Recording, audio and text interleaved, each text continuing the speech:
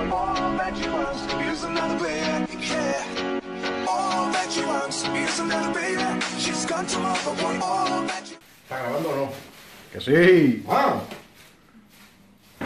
Hola amigos, yo soy un fan de los maginos. Miguel Ángel de Sevilla ha estado hablando conmigo y me ha regalado esta botella de anís de un concierto. Me la regaló él.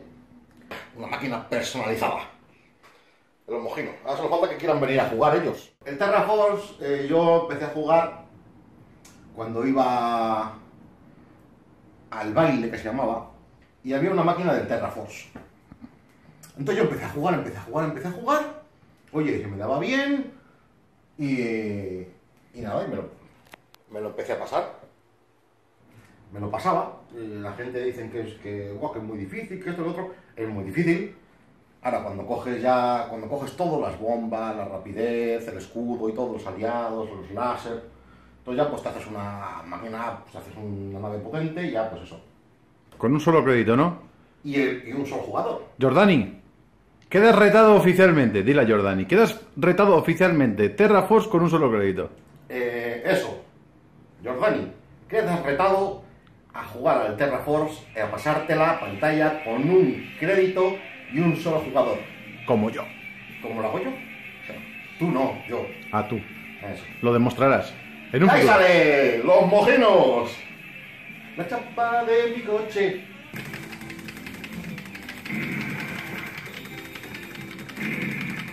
Como molan los Eurojoystick 2 de Industria Lorenzo, ¿eh?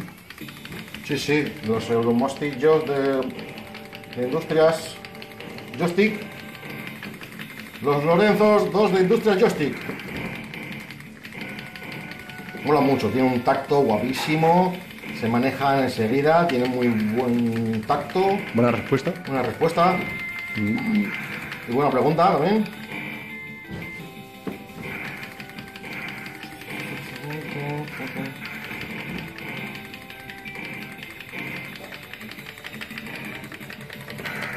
Hola a todos, ya estamos aquí después de unas merecidas vacaciones, hemos vuelto al canal y no podíamos volver de otra mejor forma que con un reto.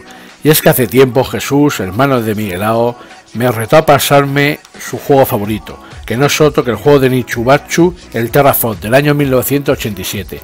Y es que este juego es su juego favorito. Como habéis visto en la presentación de lo que es la intro, pues ha enseñado su máquina que le hizo Miguelao, un pedazo de máquina. Y nada, dejaremos aquí una tarjetaza de Miguelao, que tiene un canal muy bueno. Y ahora, como estáis viendo, vamos a meter el crédito y comenzamos. Pues nada, lo primero que vamos a hacer es explicar los controles que tiene este juego. Y es que este juego se dirige o se controla con un joystick de 8 direcciones y dos botones. El primero sirve para disparar, como estáis viendo ahora mismo, y el segundo botón será para lanzar la bomba. Para activar la bomba lo que tendremos que hacer primero es coger el power up marcado con la B de bomba, que es el primero que va a aparecer ahí delante. Como estáis viendo la pantalla, pues se, divide en la puntuación, el, primer player y, y la puntuación. Luego arriba tiene lo que es el- los tres power que podemos coger, que son láser, bomba y speed. O sea, el láser sería mejorar el disparo a través de un láser. La bomb es la bomba, que ahora la vamos a coger, como he comentado, y speed, como todos los iconos, que será la S que se da velocidad, no da velocidad. Podemos coger como máximo tres power up de cada tipo. Y entonces ya tendremos la máquina nuestra, nuestra máquina de matar. Ahora hemos cogido la B que os comentaba, ya podemos activar el segundo botón de B. Tenemos nuestra máquina de matar activada al máximo, o sea, la tenemos potenciada a tope. Lo que, lo que hay que hacer y la estrategia que yo hago es coger los power lo más rápido posible para potenciarme contra antes. El juego, como estáis viendo, eh, comienza siendo un shoot up vertical, pero esto no es todo. Lo que mola del juego y para mí lo que innovó en su día es que esto es un 2x1, o sea, es un juego que a primera vista es un shoot 'em vertical, pero ahora veréis cuando hemos cogido este ítem que es la velocidad, nos vamos a meter en el mundo subterráneo y el juego se va a transformar en un juego de en un shoot 'em horizontal. Aquí vamos a coger un módulo especial que nos va a ayudar. Y nada, ahora mismo llevamos dos ítems de bomba y uno de ese de, de velocidad. Como os comentaba, lo que tendremos que ir jugando es bajando y subiendo según nos convenga para ir cogiendo los ítems. A lo que vamos, a hacer es subir. Y aquí arriba he subido para conseguir puntos y cargarme y enseñaros el primer jefe que va a salir del juego.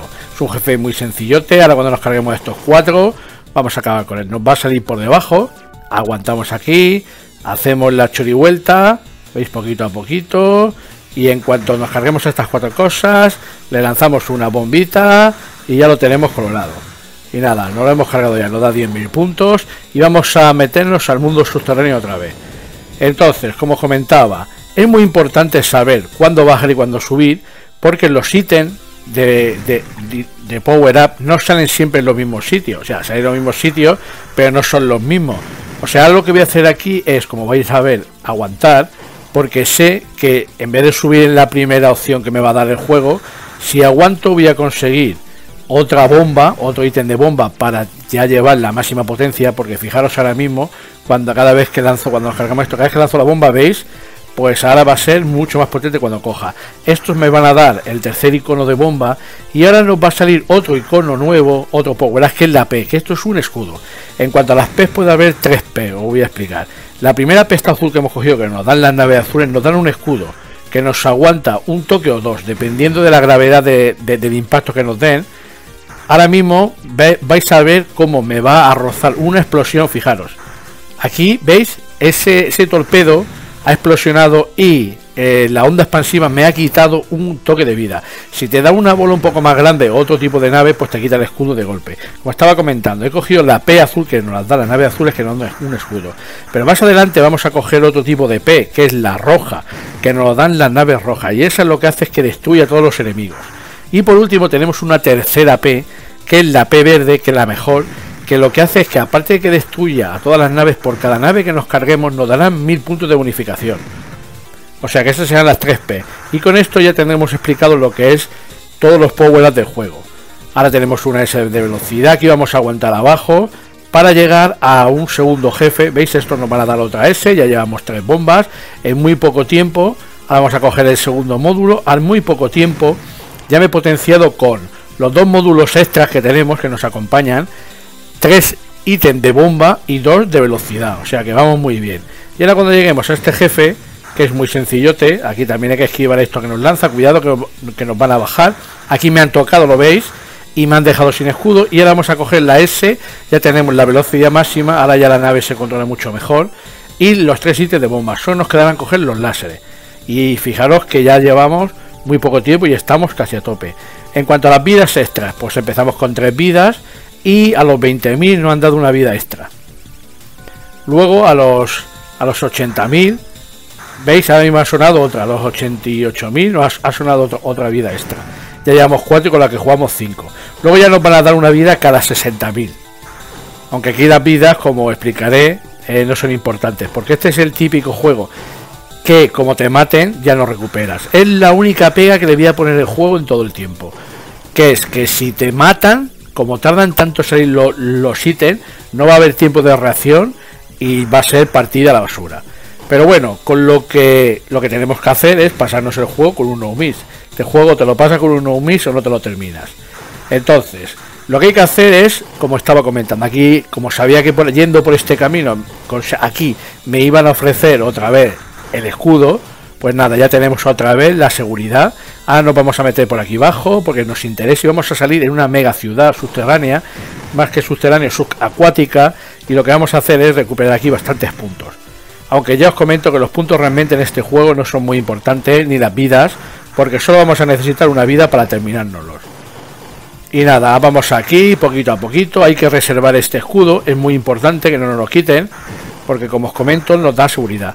Aunque sí que es cierto que siguiendo el camino que os voy a mostrar, que para mí es el camino que yo he encontrado más sencillo para terminarse el juego, no el que no con el que se puede conseguir más puntos, porque para conseguir más puntos habría que ir mucho más tiempo por la zona subacuática o subterránea. Nosotros vamos a ir sobre todo por la zona aérea, que es mucho, mucho más sencilla.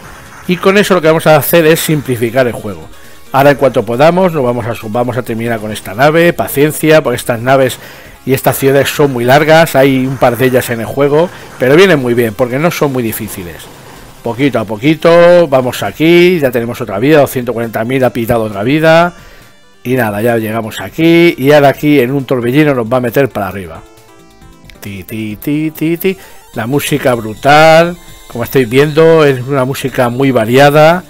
y muy chula.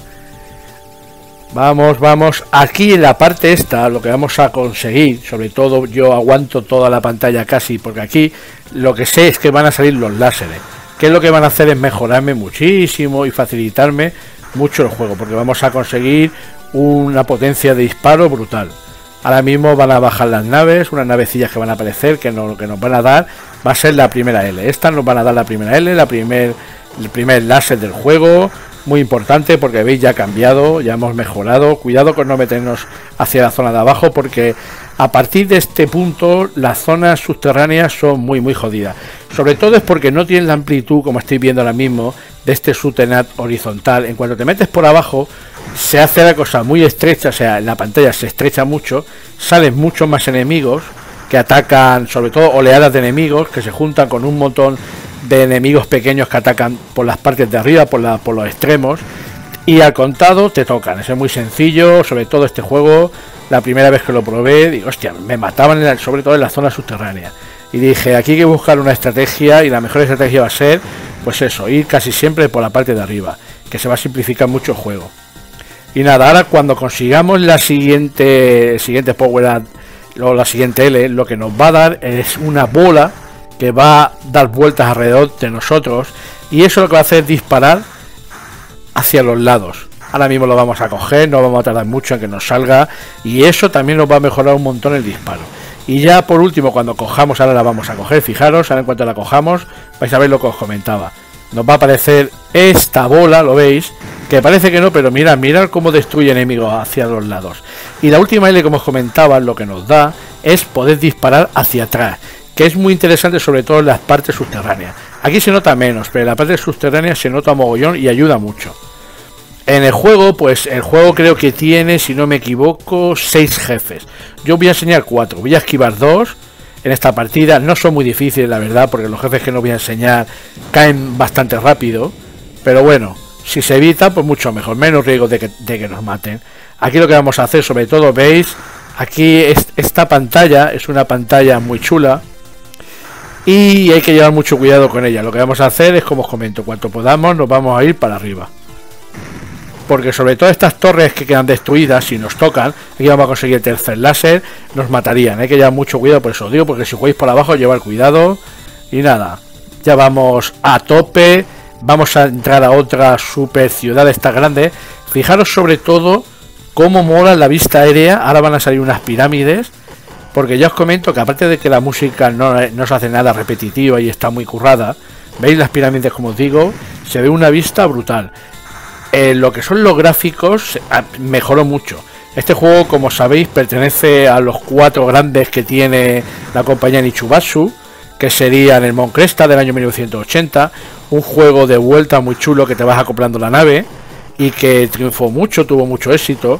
Luego apareció el Terra Cresta, que es un juego más, es, más un shoot up vertical, muy chulo que se puede estar jugando muchas horas, que es el siguiente que voy a intentar meterle caña.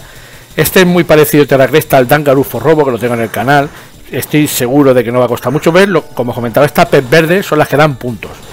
Y luego, por último, ya el, el, Dangarufo Robo del 86, el Terra Cresta del 85. Y por último salió este Terraform, que esto ya es otra cosa.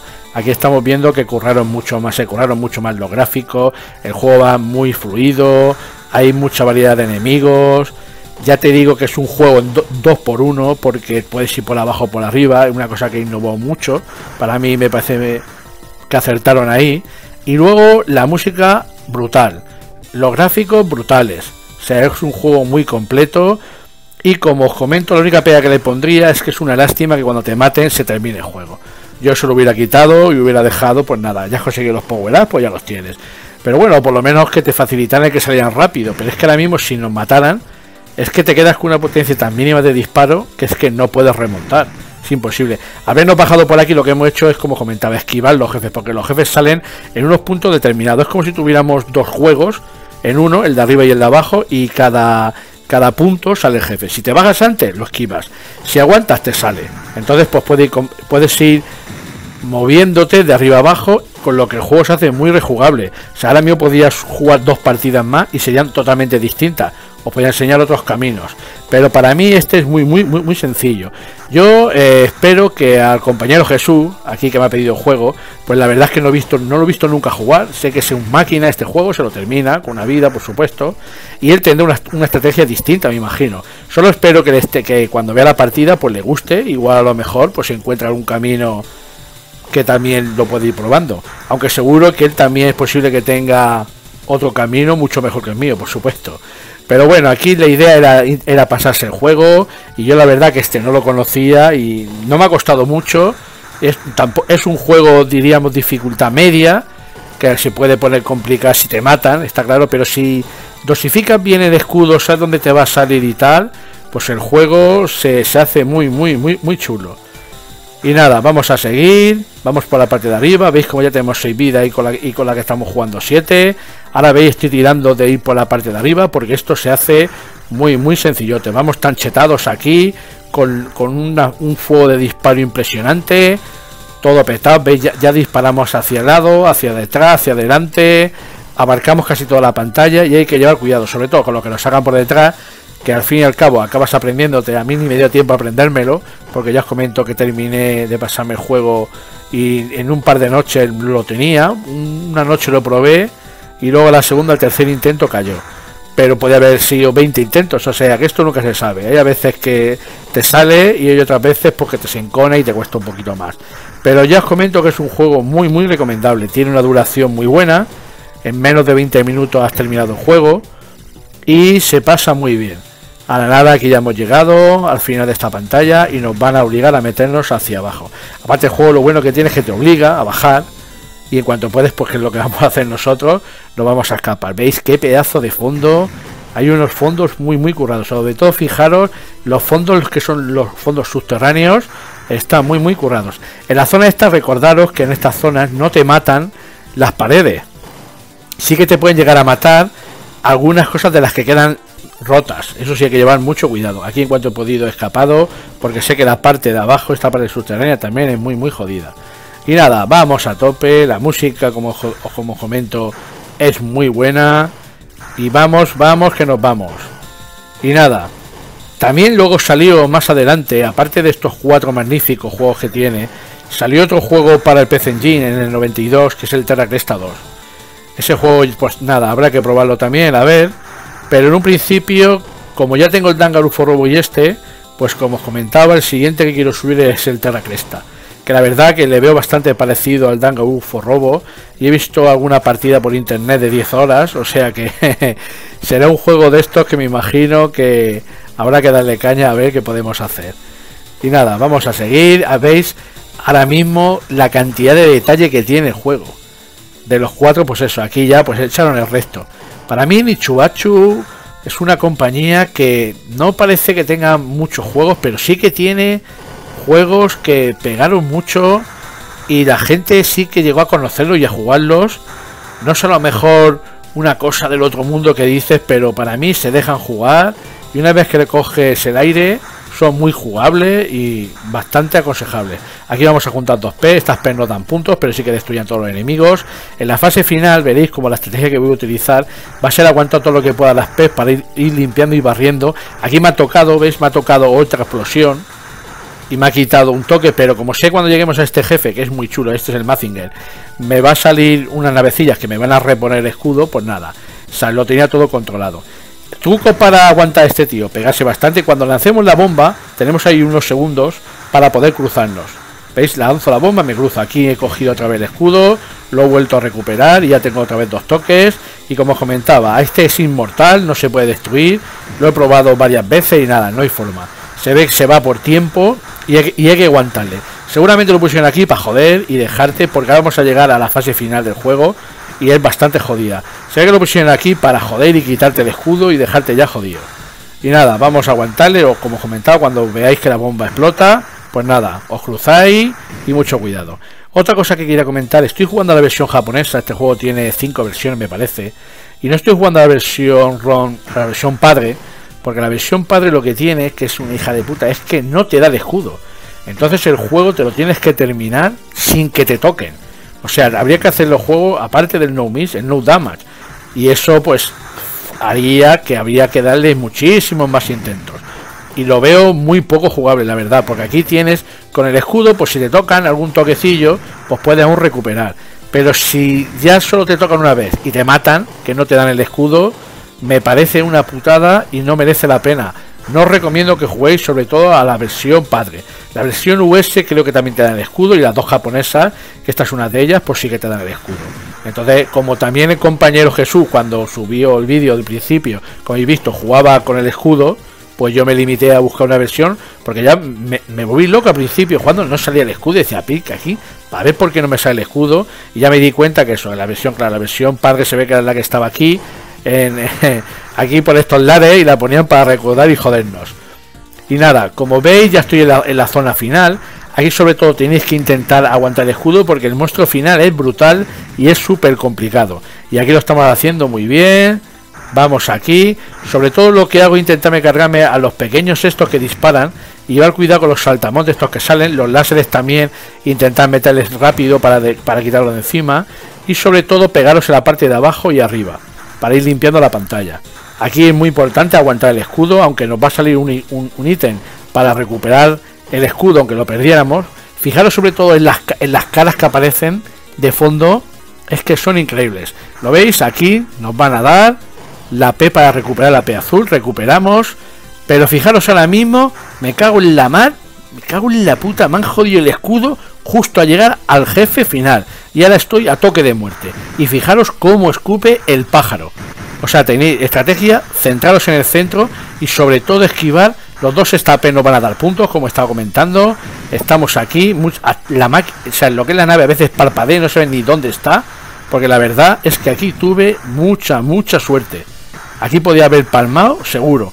Porque aquí ya no saben ni cómo esquivas. Tienes que aguantar bastante entre naves, disparos. Lo tenemos casi, lo tenemos ahí. Vamos, vamos, aguanta, aguanta y a tomar por culo. Y nada, nos dan 100.000 puntos. Hemos terminado el juego, el juego con 9 vidas. Y, la que estamos jugando con 10 vidas. Y nada, pasote de juego. Muy recomendable. La verdad es de aquí que darle las gracias al compañero Jesús y a su hermano Miguelao. Son dos cracks.